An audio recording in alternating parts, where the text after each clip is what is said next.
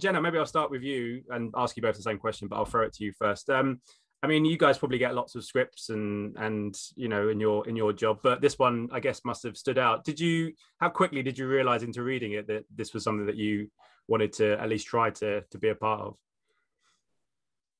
Uh, I mean, it grabbed me right away. I was sort of in it within the first five pages, but yeah, you get you know you read a lot of stuff, but I think for me, oddly.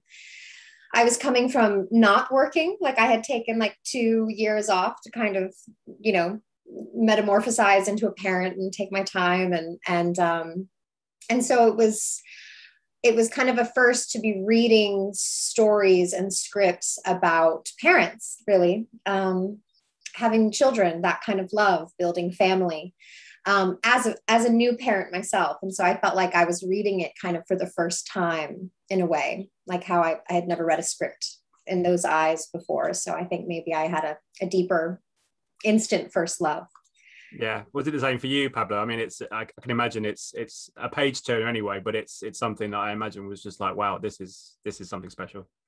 Yeah, yeah, pretty quick I realized it was it was something that I wanted to do. I was in the middle of shooting American Gods when I read it, and um, a lot of the stuff I had been doing over the last few years before that was was very masculine and very tough. And even though this character has all those elements, you know, he's a guy who's getting out of jail, et cetera, et cetera.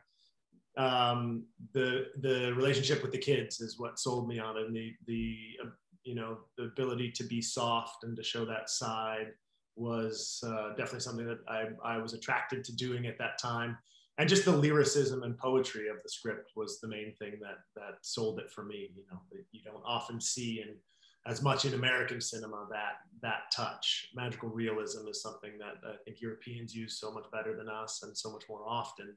And I've, you know, there's a, a, great movie I love called Girl on a Bridge. Uh, is a French black and white movie with Daniel Auteuil and Vanessa Paradis, and it has this sequence where they're both looking into the camera, speaking directly to each other, recounting the last couple of years they've been apart, as if they're right there. And it's this convention I keep going back to um, and it's not that we use that convention, but it's the, the ability to kind of um, go outside of the box and, and use filmmaking terms or, or conventions that, uh, that don't, you know, aren't as conventional and aren't as straightforward.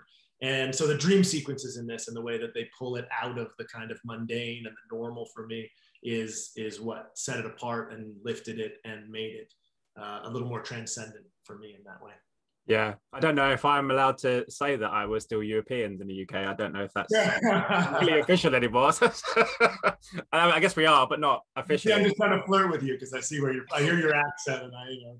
Yeah, yeah. The UK has a yeah, lots of things written about it. Let's let's just leave it there. Um, but one yeah, one of the things I loved about the movie was the is the, obviously the love story, and from that first scene where you your two characters kind of meet each other again for the for the first time, it's such a, it's so wonderfully like you said, lyrical and the camera work is so amazing. And then you obviously you guys are in there as well. But what what was that sequence? What was that scene like to to film? Um, because it, it, it really comes across on the screen that there's that connection is so real, very very immediately. Maybe Paolo, I'll chuck that to you first. Pablo, beg your pardon.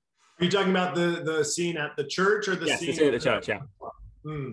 Yeah, when they see each other across the room and and uh, yeah, you know, instant fireworks. Um, it was great to shoot. It was uh, was a, um, one of one of the first scenes we shot actually uh, in the chron- chronology of shooting the movie.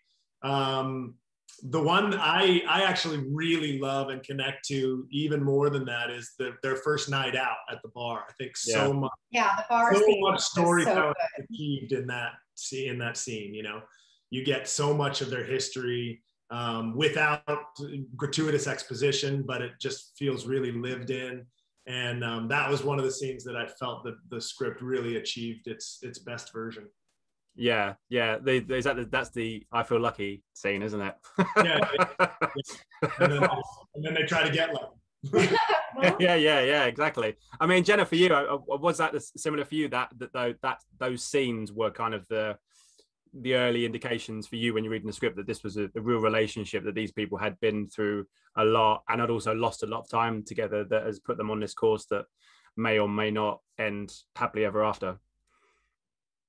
Yeah i mean there's something that feels very familiar you know? I mean i think that we have a tendency maybe in american cinema to romanticize that sort of like um, you know, working class, like, uh, you know, there's a lot of uh, heroism there. And I think that that's really beautiful. But sometimes the box of that heroism is too defining and they need to have a little bit more space, the reality of that situation to sort of be different uh, and change and be messy. And I think it's sort of one of the gifts, I think, of this script is allowing this, you know, very archetypical ex-con, you know, even like the body of the character is intimidating and, and very masculine. And he's going through this journey of kind of reclaiming this place where he can be soft and connect and form connections that feel safe. And that's, you know, typically this very feminine journey of like, how to be a caregiver, like how to be in relationship, how to have a family.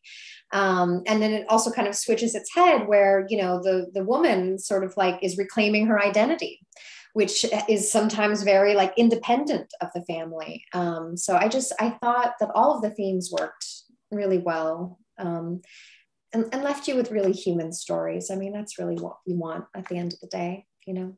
Yeah, absolutely. And Pablo, I was going to ask you. I mean, you, you, you mentioned at the top of the interview there about you've played very masculine roles. Obviously, people know you from Orange Is the New Black as well. But this is a character that has flaws, and and the more years are going on, we're seeing men being allowed to, you know, cry, being allowed to show their weaknesses and everything else. Was that was that something that played into your thinking with this? That this was something that was very different and allowed you to do things that you hadn't maybe done before? Yeah, I, I would say less less allowed me to do things that I haven't done before, and more just it felt like an, it felt interesting to mm. be able to portray, you know, to, and to be able to wrestle with, you know, because I'm I myself am a, a man. I'm a guy's guy. I'm a, a, former athlete, and so I think of myself as a as a guy's guy. But then, you know, I also I'm a feeling guy. I'm a dad. I have kids, and I have emotions around my kids, and uh, and and I'm very I'm of course like like everyone else I'm I'm multifaceted. I have many sides, and so often in um, in movies or TV shows and mainstream media, it's easy to uh, the, the, easy way to show these things is as a one-dimensional thing. You know, we have, uh, as Jena was saying, the boxes. We get put in these boxes, and and we can only sort of show what's in that box. Mm. And to be able to try to, to, to at first be given a piece of material that is not just the box that fleshes out the whole experience of humanity in a larger way and then to get to go and play in that sandbox uh, for me was was the attraction yeah and jena for you i mean uh, this the character that you play I, I can imagine was, is had different notes and melodies than what you've played previously in your in your career. But did do you think you would have been able to do this before you'd been a mother? Does, did that kind of hmm. help sell it to you a bit more in the sense that you'd now discover you know you're doing things as a mother that maybe you weren't doing if this was offered to you 10 years ago say yeah i mean you don't ever think about it until you're in it. So i mean i was you know i played pregnant and moderate mom roles before i even had a child you know so i don't know. But then there is something very unique about getting to experience that um, journey uh, metamorphosis firsthand. Um, and then because you really it just gives you more colors to paint with. It's just it's a it's a wider canvas. And i think that there's some kind of calling i think in every parent that wants to um, not only do it the best they can but really tell about it you know because it can be such an isolating and strange and wild experience that I think there's like a camaraderie, I think, amongst parents that you want to talk about it, you want to share, you want to make it um, more of a shared experience instead of just something that you're going through. So I think that I just had a more personal intention on doing the film.